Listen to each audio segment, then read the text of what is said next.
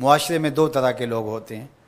एक वो जो मजबूर है, भूखों से है, फाकों से है, परेशानियों से है, अजियतों में मुबतला है। तो कुरान ने उनको कहा कि कोई बात नहीं, ज़िंदगी मुश्किल, तकलीफ़, अजियत से गुजारो, सब्र करोगे तो अजर मिलेगा।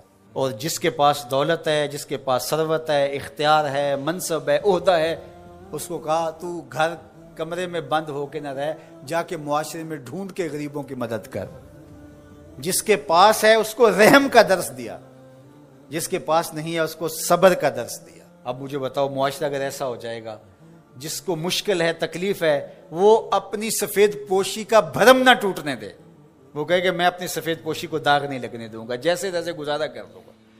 और जिसको अल्लाह ने सरवत से नवाजा है, वो कहे कि मैं अपने मातहत और अपने दोस्तों, अपने हमसायों, अपने अजीज़ों, रिश्तेदारों अपने अतराफ में बसने वाले लोगों की ज़रूरत को पूरा करो। तो मुझे बताइए कि कोई मुआरे के अंदर परेशानी रह सकती है?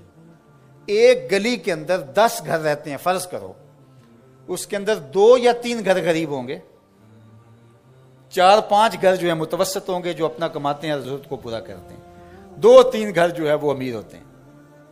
एक गली के अंदर दो घर अमीर, दो घर गरीब, छह घर मुतवसत मुतवसत भी अगर करें तो अच्छी बात है और अगर वो गली में दो गरीब आदमी जो हैं, उनकी मदद दो अमीर कर दें, उनको अपनी फैमिली का हिस्सा मान लें तो उस गली के मसाइल ख़त्म हो गए कि नहीं हुए? उनकी बेटियों के रिश्ते कबूल कर लें। मसाइल ख़त्म हुए कि ना हुए? इस तरह गली गली, बस्ती बस्ती, सबर करने वाले सबर करके दिखाएँ। सैयद नली मुर्तज़ा रदी अल्लाह से रिवायत है आका करीम ने फरमाया, जो अल्लाह के दिए गए थोड़े रिज्क पे राज़ी हो गया, अल्लाह कयामत के दिन उसके थोड़े अमलों पे राज़ी हो जाएगा। उसके लिए कितनी मौज है। दुनिया में तो तकलीफें सही, दुनिया में तो अजियतें सही, लेकिन आखिरत में उसका सिला कितना है? जो दुनिया में अल्लाह के दिए थोड़े रिजक पे राज़ी हो गया, जिस साल में भी था, अल्लाह, मैं वाह वाह खुश हूँ तेरे पे। तूने मुझे सही रखा है। इतना भी बड़ा कदम है कि तूने मुझे अता किया है। साँसें तो चल रही हैं ना, मालिक तेरा शुक्र है। जो अल्लाह के दिए गए थोड़े रिस्क पे राज़ी हो गया, अल्लाह कयामत के दिन उसके थोड़े अमलों पे राज़ी हो जाएगा। और इसका माकूस क्या है? जो अल्लाह के दिए गए ज़्यादा पे भी राज़ी ना हुआ, एक वो भी हैं जो अल्लाह के दिए थोड़े पे राज़ी हो जाते हैं, और एक वो भी हैं जो अल्लाह के दिए ज़्यादा पे भी राज़ी नहीं होते। बाज़त किसी गरीब से पूछते हैं, सुनाओ कैसे हाल है? तो वो कहते हैं, अल्लाह का शुक्र है। और बाज़ात किसी फैक्ट्री के मालिक से पूछते हैं, क्या हाल है? वो कहते हैं, चल ही रहा है, आपको पता है आजकल। गुजर हो ही रही है, उसकी गुजर हो रही है। जिसके करोड़ों रुपए बैंक में पड़े हुए हैं, वो चेहरे के ऊपर कई तरह की लकीरें ला करके कहता है, बस गुजर हो ही रही है। कितने लोगों से बेहतर हैं आप जो नाने शबीना को भी तरसते हैं। तो अल्लाह के दिए पे राज़ी हो जाओ, उसकी तकसीम पे राज़ी हो जाओ, ज़िंदगी सौखी गुजरेगी। ना राज़ी हो गए तो फिर क्या कर लेंगे? हम अगर अल्लाह पे राज़ी नहीं होंगे तो फिर क्या कर लेंगे? फिर भी तो ऐसे ही गुजरेगी। तो बेहतर नहीं राज़ी होके गुजरे और आखिरत का सौदा ठीक हो जाए। तो इनको कहा, जो फंसे हैं, जिनकी गर्दनें फंसी हुई हैं, तुम हर हाल में अल्लाह का शुक्र अदा करो। और दूसरों को कहा कि ये तुम्हारी भूल है कि हम देंगे तो इतना कम हो जाएगा।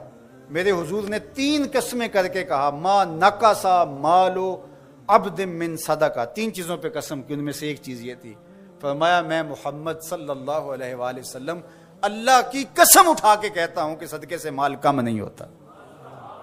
सदके से माल कम, सदके से माल कम होता होता तो हज़रत अबू बकर सिद्दीक इस दुनिया के सबसे गरीब शख्स होते, जिन्होंने सारा माल दे दिया। हज़रत उस्मान गनी सबसे गरीब होते, हज़रत अब्दुलरहमान इबन औफ सबसे गरीब होते, जिन्होंने तीस हज़ार गुलाम आज़ाद किए ज़िंदगी में। तो माल खर्च करने से कम नहीं होता। और ये बात हुजूर वैसे भी फरमा देते तो काफ़ी था। लेकिन मेरे हुजूर ने कसम करके कहा कि मैं रब की कसम करके कहता हूँ कि सदके से माल कम नहीं होता। अल्लाह हम सबको सूरा अल बलद के मजामी पर गौर तमुल की तोफ़ी जब मैं कहूँ, मुझे कसम है अल्लाह की, मुझे कसम है काबे के रब की, मुझे कसम है अरश अजीम के मालिक की तो सुकूत तारी हो जाएगा कि अब क्या कहना चाह रहे हैं।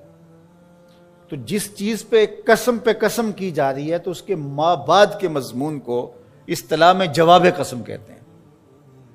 तो जवाब कसम क्या है? कसम है शहर की मक्का मुकर्रमा की, जिसमें महबूब आप बसते हो। कसम है हज़रत इब्राहिम खलील की। कसम है आपकी ज़ात सतूदा सिफात की। तीन कस्में की। कान खड़े हो गए। किसके आगे क्या कहा जाने वाला है? तो मेरा रब इर्शाद फरमाता है, लकद खलक नल इंसान अफी कबद हमने इंसान को मुशक्क़तों में पैदा किया, मुश्किलों में रहता हुआ बनाया हालात के जबर से टकराता हुआ पैदा किया तलखियों का मुकाबला करते हुए, दुखों का कलीजा चीर के आगे बढ़ता हुआ मिजाज देकर इसको पैदा किया है। ये फार्मी चूजा नहीं है कि तेज हवा भी चले तो ये गिर जाए। बल्कि कशाकश हालात से टकराता हुआ इसको बनाया गया है। इसकी ज़िंदगी मुश्किलात से इबारत है। जबर सहता है, अपनों बेगानों से तकलीफें गवारा करता है। ठोकरें खाता है, गिरता है, संभलता है, आगे बढ़ता है। इसमें तहरुक है, इसमें हालात के जबर से टकराने की ताकत है, सलाहियत है। तो रास्ता मुश्किल दे करके इसको और तवानाई मिलती है, ताकत मिलती है। और कस्में तीन की। कसम और जवाब कसम के अंदर कोई मुनासिबत है ना? मक्तुल मुकर्रमा की सख्त जान ज़िंदगी। बिलाल हबशी रज़ी अल्लाह तु को तपते हुए पत्थरों पर लिटाया जाना। हज़रत यासर का शहीद किया जाना। ये हालात की तलखियाँ हैं तो मक्के की कसम की। अब हज़रत इब्राहिम की ज़िंदगी देख लीजिए। मुश्किल से भरी पड़ी है। हाँ कसम, ए महबूब तेरे वालिद इब्राहिम अलैहिस्सलाम की, जद्द अमजद की, और कसम तेरी ज़ात सतूदा सिफात की, तेरे वजूद मसूद की। मक्के की गलियों से लेके ताइफ के बाजारों तक सुलगते हुए माहौल के अंदर किस तरह तुमने इस्लाम का पैगाम पहुँचाया? अजियतें सही, मुसीबतें सही, मुकावमतें, मुखालफतें नुकता चीनी की आंधियाँ, नामवाफक हालात के जक्कड़, दुख, परेशानियाँ बरसते पत्थर, झेले तकलीफें गवारा की। गड़े खोदे गए, कांटे बिछाए गए, ओजरियाँ डाली गई, अजियतें खड़ी की गई। लेकिन इस्तेकामत का कोहे गरा बन के मोहम्मद अरबी खड़ा नज़र आता है। सल्लल्लाहु अलैहि वसल्लम। तो तीन किस्में करके कहा कि आज अगर तुम्हें कोई तकलीफ़ आ जाए, मुशक्क़त से गुजरना पड़े तो कहीं घबरा न जाना, देखो, मक्कातुल मुकर्रमा की सरजमी देख लो, हज़रत इब्राहिम अलैहिस्सलाम की मुशक्क़तें देख लो, नबी अकरम सल्लल्लाहु अलैहि वसल्लम की ज़िंदगी के शब रोज़ देख लो। लकद खलक नल इंसान अफ़ी कबत हमने इंसान को मुशक्क़तों में रहता हुआ पैदा किया है। हालात के जबर सहता हुआ पैदा किया है, तकलीफ़ों से गुजरता हुआ पैदा किया है। तो अगर हालात मुश्किल आ जाएँ, तकलीफ़ें ज़्यादा हो जाएँ तो उससे घबराने की बजाय रास्ते तलाश करने की कोशिश करनी चाहिए। आज हम आसूदा से आसूदा ज़िंदगी चाहते हैं। हालात के जबर से टकराना पसंद नहीं करते और मुश्किलों को सहना गवारा नहीं करते, जबकि हालात से रास्ता वही तलाश करते हैं, जो हालात की कशाकश से टकराना जानते हैं। दुनिया की वो कौमें जिन्होंने मेहनतें की हैं, उन्होंने ज़िंदगी का हुस्न कशीद किया है। और जो तन आसान हो गए हैं उन्होंने ज़िंदगी बर्बाद कर दी। आज उम्मत मुस्लिमा का यही हाल हुआ कि वो तन आसान हो गए। और तन आसानी ने उन्हें उनके पल्ले कुछ नहीं छोड़ा। ज़िंदगी में तहरुक, ज़िंदगी में जद्दोजहद, कशाकश हयात, यही ज़िंदगी का जमाल है। तने मुर्दा से बेजार है हक। तने मुर्दा से बेजार है हक। खुदाए ज़िंदा जिंदों का खुदा है। अल्लाह उसी की मदद करता है जो खड़ा होता है। तो ये तीन कस्में हमें बताती हैं कि हमारी ज़िंदगी के रंग और तेवर क्या होने चाहिए और ज़िंदगी किस तरह आगे बढ़नी चाहिए। घर में बेटियाँ जवान हैं, कोई रिश्ता इसलिए नहीं पूछने आता कि इनके पास देने के लिए कुछ नहीं है। और बाप मजदूरी कर करके बमुश्किल घर का चूल्हा गर्म रखता है और बेटियाँ उनके सर में चांदी उतर रही है। तो वो बाप कितना फंसा हुआ है, उसकी गर्दन कितनी जकड़ी हुई है। और अगर किसी के पास रकम हो, उसकी ज़रूरियात से ज़्यादा, और वो उसका रिश्तेदार भी लगता हो तो उसको सोचना चाहिए कि मैं इसकी मदद करूँ या ना करूँ। उसको कैलकुलेटर लेके हिसाब करना चाहिए कि ये मेरा भाई है, ये मेरा भांजा है, ये मेरा भतीजा है, ये मेरे चचा का बेटा है, ये मेरी फूफी का बेटा है, ये फंसा है, इसकी बेटियाँ जवान है, कोई वसीला ही नहीं है। बमुश्किल घर के अंदर खाना पूरा होता है और बेटियाँ घर की दहलीज में बूढ़ी हो रही हैं और इसके पास दौलत के अंबार हैं और ये सोचेगा। अल्लाह फरमाता है, यहाँ बगैर सोचने के छलांग लगानी पड़ेगी। यहाँ नफा नुकसान नहीं देखना पड़ेगा। यहाँ कसाद बाजारी का नहीं सोचना पड़ेगा। फलक तहमल आकाबा। ये बगैर सोचे, समझे कूदा क्यों नहीं है? ये मुश्किल घाटी चढ़ा क्यों नहीं है? वमा अदरा का मल अकबा ये जानता है कि मुश्किल घाटी क्या है? फक्कू रकाबा। किसी फंसे हुए की गर्दन को छुड़ाना है। किसी मुश्किल में फंसे हुए लोगों की मदद करना है। तो अब ये सोचेगा कि अभी तो मैंने फलां प्लाट भी खरीदना है, अभी ये भी करना है, एक फैक्ट्री नहीं लगानी है मैंने मैंने तो उसके लिए रकम जमा कर, क्या ये जरबे तकसीमें देगा? कहा, अगर इस्लाम का नूर सीने में उतरा हुआ है तो अपने भाई की मुसीबत को देख लेगा जब वो जानता है, ये वाकई फंसा हुआ है तो फिर इस घाटी में छलांग लगाते हुए वो दाएँ बाएँ नहीं देखेगा, वो फ़ौरन चढ़ दौड़ेगा और फ़ौरन फैसला करेगा ताकि दुखी को मुसीबत से निकाल सके। फक्कू रकाबा, किसी फंसे हुए की गर्दन को छुड़ाना। किसी मुश्किल में फंसे हुए लोगों की मदद करना है। ओ इताम फ़ी योमजी मसगबा, या भूख के दिन खाना खिलाना है। लॉकडाउन लग गया, लोग तरस गए। फाके आ गए। घर में बहुत पड़ा हुआ है। तो ये सोचा जाएगा कि मैंने तो तीन साल के लिए रखा है और ये बंदा रेडियाँ रगड़ के मर रहा है। अगर मैं इसको दे दिया तो तीन साल के बाद तो मेरे पास कुछ नहीं होगा। ये बात सोचने की नहीं थी कि तीन साल बाद मेरे पास क्या होगा। कुरान का जो उसलूब है, कुरान जो हमें ज़िंदगी सिखाता है, वो ये है कि यहाँ सोचना नहीं तुम्हें। अकल से सोच के काम लेना, ये बहुत मरहले हैं। कहीं अकल को पीछे करना पड़ता है। इकबाल ने कहा था बेहतर है कि दिल के पास रहे चरागे अकल.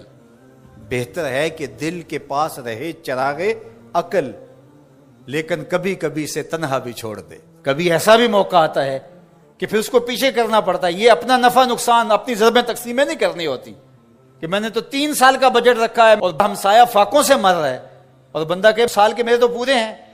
वो यूँ जमा तकसीम करता रहे। ये मुश्किल घाटी है। तो कहा उसको, ये मुश्किल घाटी चढ़ना होगा। वमा का माला काबा जानते हो मुश्किल घाटी क्या है? फक्कू रकाबा। किसी फंसे हुए की गर्दन को छुड़ाना है। और इतामन फ़ी योमिन जी मसगबा। भूख के दिन किसी को खाना खिलाना है। यतीमन जा मकरबा। किसी करीबी यतीम की मदद करना है। और मिसकीन अनजा मतरबा। या खाक नशीन मिसकीन की मदद करना है। यहाँ जो लफ्ज कुरान ने इस्तेमाल किया ना, यतीमन जा मकरबा। करीबी यतीम। तो क्या इसका मफहम यह निकलता है कि जो दूर का यतीम है, उसकी मदद नहीं करनी? नहीं। बल्कि तफसीर ने यहाँ नुकता बयान किया कि बंदा दूर पार के यतीमों और गरीबों की मदद करता है और उनकी तस्वीरें भी खिंचवा लेता है दौरे मौजूद में और दाद भी ले लेता है और सखी बन के सामने आ जाता है। लेकिन यतीम खानदान के अंदर हो तो उनकी मदद करके बंदा नमाइश नहीं कर सकता कि मैंने अपने भतीजे भांजे के साथ ये किया है। जो बंदा नफ्स का गुलाम बन जाता है, उसके लिए मुश्किल हो जाता है। तो इसलिए अल्लाह ताला ने यहाँ जो लफ्ज बयान फरमाया, यतीमन जा मकरबा, करीबी यतीम की मदद करना। ओ मिसकीन जा मतरबा, या खाक नशीन मिसकीन की मदद करना। कुछ लोग उन्हें पता है हमारी हमसाइगी के अंदर इनके यहाँ नान शबीना भी नहीं है। तो वहाँ जो है वो महीने में पाँच सौ रुपया देंगे। और पाँच सौ रुपया दे के ये समझेंगे कि हमने हक अदा कर दिया। इनकी ज़रूरत को आपने पूरा करना था। मुख्तलिफ़ लोगों को तो आप करोड़ों रुपए बांट रहे हो। और आपकी फैक्ट्री में जो मुलाजमत कर रहे हैं, आप उनमें कितनों को जानते हो कि मुश्किल से इस पंद्रह हज़ार रुपए से इसका घर चलता है और इसकी बहनें जवान हैं? और ये बेचारा ओवर टाइम भी लगाता है। फिर भी घर का खर्चा पूरा नहीं होता। तो तुम बाहर जो करोड़ों रुपए दे रहे हो तो बेहतर नहीं था कि अपने उस मजदूर की तुम मदद कर देते। अल्लाह हम सबको सूरा अल बलद के मजामी पर गौर तमल की तोफ़ी कुछ लोग शर का मुंबा होते हैं जर रसा होते हैं। जो लगाई बुझाई करते हैं, गीबत करते हैं, पीठ के पीछे बात करते हैं, सामने बात करते हैं, गुनाहों की, ऐबों की टो में रहते हैं, हर वक्त जासूसी करते हैं, लोगों के अंदरून खाना तक झांकने की कोशिश करते हैं। और उमूर को फिर मजालस के अंदर डिस्कस करते हैं। अब तो ये सोशल मीडिया आ गया। लोगों के घरों की चीज़ें लेकर के लोग वहाँ डाल के ब्लैकमेल भी कर रहे होते हैं। तो अल्लाह ताला जल्ला शाह ने इस मुआशरती मामलात को लोगों के सामने रखा तो कितने सख्त लफ्जों के साथ। वैद खराबी, लिकुल्ले हो मज़ा तिल्लो मज़ा। सामने अब जोई करने वाले, लोगों की आराज से खेलने वाले, लोगों की इज्जतों से खलवाड़ करने वाले ताना जनी करने वाले, और लोगों के मामला के अंदर दखल अंदाजी करने वाले, और लोगों के मामला को टटोलने वाले, और जो है वो लोगों की तजलील करने वाले। इन लोगों के लिए खराबी है। और इसके साथ जोड़ के एक दूसरी चीज़ बयान फरमाई। अल्लाह जी जमा मालम व अदा और वो लोग जो माल जमा करते रहते हैं और उसको गिनते रहते हैं। जमा के साथ अदा का लफ्ज इस्तेमाल हुआ। खाली जमा, ये इंसान की फितरत है कि वो थोड़ा बहुत जमा कर रखता है, सेविंग करता है थोड़ी बहुत। चलो किसी मुश्किल वक्त काम आ जाए। बेटियों की शादी, बेटों की शादियाँ, घर बनाना ये वो माजरे, ये शरीयत में नामहमूद नहीं है। अगर माल जमा करना बुरा होता तो फिर जक़ात ही ना होती। जक़ात इसीलिए है कि माल साल भर जमा रहा है तो उस पर जक़ात हुआ है। तो खाली जमा काबिल मजम्मत नहीं है। अगर उसकी जक़ात दी जाए और उस माल के फितने में मुबतला नहीं बंदा होता तो फिर कोई हरज नहीं है। लेकिन अदादा का लफ्ज बता रहा है कि ये माल की मोहब्बत इतनी गालिब हो गई कि वो माल जमा करता है और उसको बार बार गिनता है, उसकी मोहब्बत में फरेफ्ता हो गया बार बार इसलिए गिन गिन के रख रहा है, इतने हो गए, अब इतने हो गए, अब इतने हो गए। और उस माल की जक़ात भी नहीं देता, उस माल का हक भी अदा नहीं करता, और उसको माल को जमा करता। और उसकी ज़िंदगी का मतमा नज़र यह हो कि पैसे कमाने हैं। इबन आदम कहता है, माली माली माली, मेरा माल मेरा माल मेरा माल। फरमाया, उसका माल वो है जो उसने पहना और पुराना कर दिया, खाया और ज़ाया कर दिया। फरमाया, बाकी उसका नहीं है, उसके वारसों का है। वो तो कफन भी मैला नहीं होने देंगे कि बांट लेंगे। तेरी घड़ी उतार लेंगे। तू खातून है तो तेरा जेवर उतार लेंगे। बेटियाँ तबर्रुक के तौर पे ये माँ की निशानी रख लेंगे। बेटा तबर्रुक के तौर पे कीमती घड़ी रख लेगा। लेकिन तेरे इन कपड़ों को उतारते हुए उन्हें डर लगेगा। तुझे गुसल देते हुए डर लगते। मियाँ साहब बोले, जांदी वारी, डरोना बने ते हाथ ना लांदे डर दे। जांदी वारी, डरौना बने हाथ ना लांदे डर दे जिन्ना लई तू पाप कमाए अज किथे नहीं तेरे कर दे हज़रत सैदना गौस आज़म शेख अब्दुल कादिर जीलानी बोले मकान बना रहा है हिसाब तू देगा बसेंगे और हिसाब में तू वहाँ फंसा हुआ होगा मौजें और कर रहे होंगे अपनी औलाद का अपने मुतालिकीन का ये जहन बनाओ कि ये माल दौलत, ये ज़रूरत है हमारी, मकसद नहीं है। जब मकसद बन जाता है तो तबाही है मकसद ना बनने दे। यह साबो अन्ना मालहू अखलादा। वो गमान करते हैं कि उनका माल उनको लाफानी बना देता है। उनको दायमी कर देगा, उनका कुछ नहीं बगाड़ सकेगा। पैसा काजियुल हाजात है, हर दुख और दर्द का मदावा है। आप जवाब सुनिए। कल्ला। कुरान मजीद के इस लफ्ज में इतना ज़ोर है, गोया, जिस तरह कोड़ा बरस रहा है, कल्ला ऐसा हरगिज नहीं। लयुम बजन्ना फिल होतामा, हम इसको पकड़ के होतामा में डाल देंगे। फिर खुद फरमाया, वमा अदरा कमल होतामा? तुम्हें पता है कि होतामा क्या है?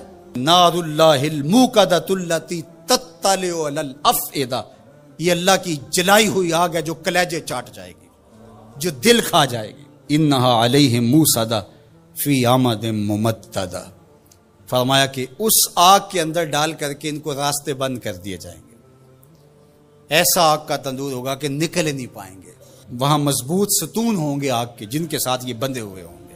और ये जो लोग हैं, जो लगाई बुझाई करते हैं, लोगों की आराज से खेलते हैं, आबरुओं से खेलते हैं, जो गीबत के बाज़ार को गर्म किए हुए हैं और नफरतों को दिलों के अंदर पैदा करते हैं, ये वो लोग हैं कि जिनको ऐसी आग में डाल दिया जाएगा कि वहाँ सुतून होंगे, जिन सुतूनों के साथ ये जंजीरों के साथ बंधे हुए होंगे। और वहाँ से निकलना भी चाहेंगे तो निकल ही नहीं पाएँगे और उस आग में जलते रहेंगे। अल्लाह हमें रहमतुल्लामीन का सदका जहन्नम की सख्तियों से नजात अता करे और ऐसे आमाल बजा लाने की तोफीक दे जो जन्नत के रास्ते का सबब बने और जहन्नम से आज़ादी का मुजदा जाम फिजा बने। आज अगर कोई सिस्टम कमज़ोर है, हुकूमतें कमज़ोर हैं, इदारे कमज़ोर हैं, वो कमी बेशी करने वालों को, ज्यादती करने वालों को अपनी गिरफ्त में नहीं ला सकते। या जो उससे ऊपर बैठे हुए हैं, वो खुद इस जुर्म में मुबतला है। और इस जुर्म में मुबतला होने की वजह से अपने नीचे के लोगों को वो पकड़ नहीं सकते क्योंकि वो खुद मुजरिम है। तो अगर निज़ाम में सुकम की वजह से कोई शख्स फ़ायदा हासिल करता है अल्लाह इरशाद फरमाता है, अला यजुन उलाय का अन्ना मबूसून वो यहाँ तो लोगों को दजल दे बैठे, लोगों को फ्रेब दे दिया, धोखा दे दिया, किसी की आँखों में मट्टी झोंक दी और काम सही नहीं किया, लेकिन अच्छा बन के किसी के सामने पेश हो गई। यहाँ तो कर सकते हैं। लेकिन अल्लाह ताला ने इरशाद फरमाया, क्या वो भूल गए हैं? एक ऐसा दिन भी है जिस दिन वो उठाए जाएँगे। ले यो मिन अजीम, वो बहुत बड़ा दिन होगा। पचास हज़ार साल के बराबर एक दिन होगा। खौफ, वहशत, अबदान पे तारी होगी। और इतना गर्म कि आज सूरज का रुख उल्टा है, फिर रुख सीधा हो जाएगा। अब सूरज बहुत बुलंदी पे है, फिर सवा मील के फासले पे आ जाएगा। अब ज़मीन में कुत जाजिबा है, गर्मी को जज्ब करती है, फिर ज़मीन तांबे की हो जाएगी। अल्लाह अकबर, वो कितना सख्त दिन होगा। जिसको कुरान ने कहा, योम अजीम, अल्लाह की अजमत व जलालत के इजहार का दिन होगा। लेकिन मेरे हुजूर ने फरमाया कि सात अशखास ऐसे होंगे, जिन्हें अल्लाह उस दिन अपने अर्श का ठंडा साया था फरमाया उनमें से नंबर एक इमाम आदिल आदिल हुक्मरान, जो इंसाफ के तकाजों को बहर सूरत पूरा करता है अगर करीबी ही क्यों ना हो। दूसरा शख्स वशाब नश आफी इबादत वो जवान जिसकी जवानी अल्लाह की इबादत में गुजरी। आज तो मेरे जवान की जवानी सोशल मीडिया पे गुजर रही है। आज मेरे जवान की जवानी तो गलियों, चौकों और बाजारों में गुजर रही है। तीसरा शख्स वराजुल कल बहु मुल्लकुम बिल मसाजिद, वो आदमी जिसका दिल मस्जिदों से जुड़ा रहता है। मस्जिद से निकलने को जी ही नहीं चाहता। कितने खुश नसीब लोग हैं जो मस्जिदों के साथ जुड़े हुए हैं। एक रिवायत में फरमाया, जिस शख्स को मस्जिद की देखभाल करते देखो, मस्जिद की सफ़ाई कर रहा है, वहाँ पड़ी हुई कोई नामुनासिब चीज़ उठा रहा है, मस्जिद में रोशनी का इंतज़ाम कर रहा है, मस्जिद में खुशबू का इंतज़ाम कर रहा है, मस्जिद के कामों में लगा हुआ, अगर किसी शख्स को देखो, उसके ईमान की गवाही दे दो। ये बंदा मोमिन है, ये मुसलमान बंदा है। तो फरमाया, चौथा शख्स वराजुल दात हो इमरतुन ज़ात मन से बिन व जमाल फ़काल इन्नी खाफुल्ला वो जवान जिसको किसी खातून ने दावत गुना दी, और साहिब मनसब भी थी, साहिब जमाल भी थी, और कदमों में हुस्न बिछने के लिए खुद बेताब हुआ। और इस जवान ने आगे से क्या कहा? इन्नी अखाफुल्ला तेरी बात कैसे मानू? रब से डर लगता है। तो हजूर ने फरमाया, कयामत के दिन जब धूप कड़क रही होगी, अल्लाह इसको अपने अर्श का ठंडा साया था फरमा फिर इशाद फरमाया वराजुलान तहाबा फिल्ला इजतमा है व तफर्रका वो दो आदमी जो अल्लाह के लिए प्यार करते थे। जब आपस में मिले तो अल्लाह के लिए, और आपस में अगर उनकी दूरी हुई तो वो भी अल्लाह के लिए। रिजाए इलाही उनका मकसूद था, उनकी दोस्ती का सबब अल्लाह की रिजा था। छठा शख्स बेशाद फरमाया वराजुलन तसदा का बेसदा कतन फ़ाफ़ा तला मातुन फ़े को यमीन। हो वो शख्स जिसने सदका किया और इतने मख्फी अंदाज में किया कि जो दाएँ हाथ ने सदका किया बाएँ को खबर भी नहीं हुई। अल्लाह अकबर। हमने अपने बुज़ुर्गों का ये मिजाज देखा है कि वो देते हुए जिसको दे रहे हैं उससे भी आँखें नहीं मिला रहे होते कि उसको कोई शर्मिंदगी ना हो। और सातवां शख्स रजुल जकर अल्लाह खालियन फफादत ऐना हो वो शख्स जिसने तन्हाई में बैठ के अल्लाह का ज़िक्र किया। कोई देखने वाला नहीं था, अकेला बैठा था और अल्लाह का ज़िक्र कर रहा। मोहब्बत इलाही की वजह से उसकी आँखों में आँसू उमड़ आए। तो मेरे और आपके आका मौला फरमाते हैं, कयामत के दिन जब कोई साया नहीं होगा, अल्लाह उसे अपने अर्श का ठंडा साया था अल्लाह हमें रहमतुल्लामीन का सदका जहन्नम की सख्तियों से नजात अता करे और ऐसे आमाल बजा लाने की तोफीक दे जो जन्नत के रास्ते का सबब बने और जहन्नम से आज़ादी का मुजदा जाम फिजा बने। कमाया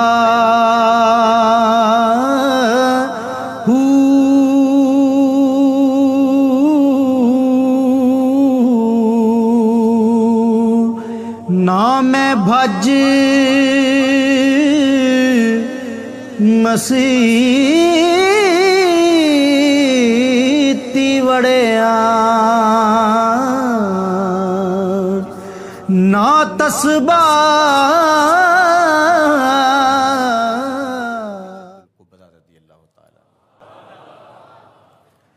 हजूर आसमाम के साथ निकाह का रिश्ता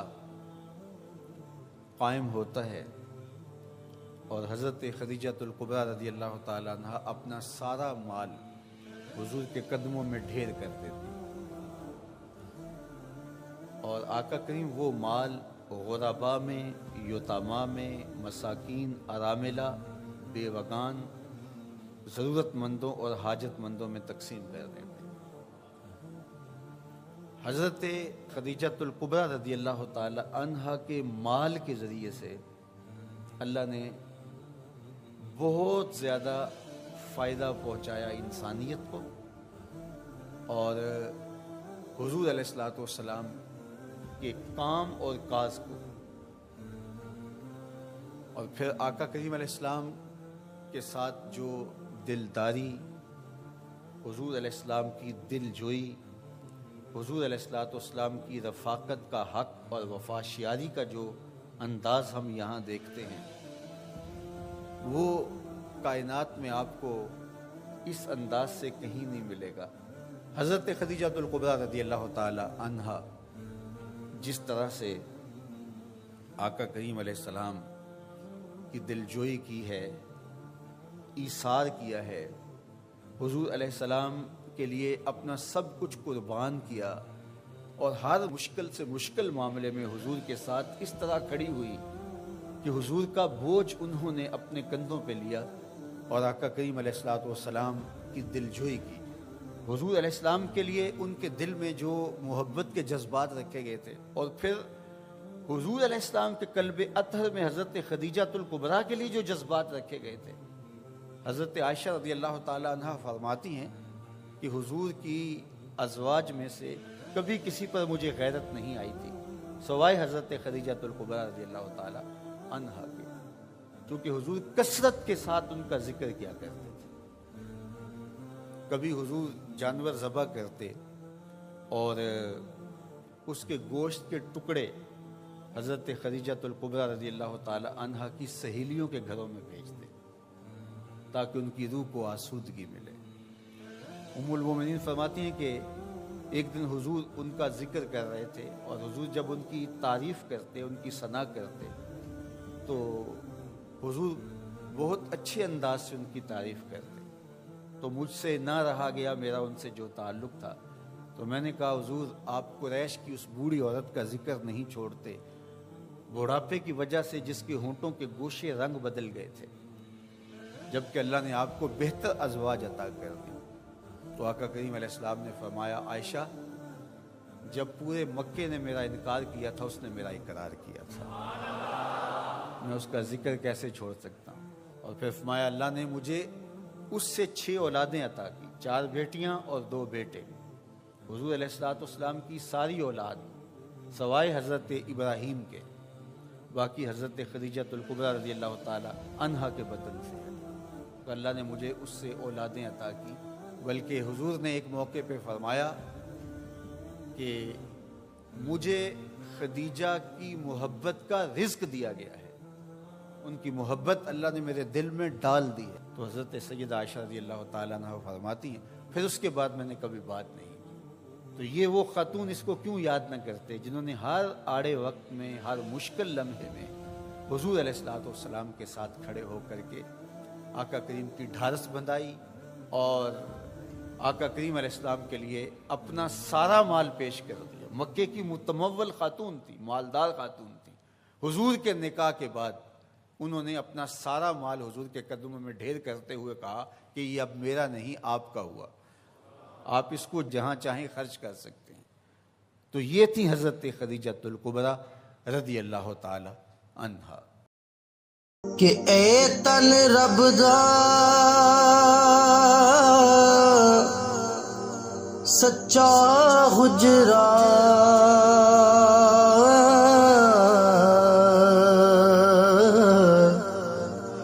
देखड़िया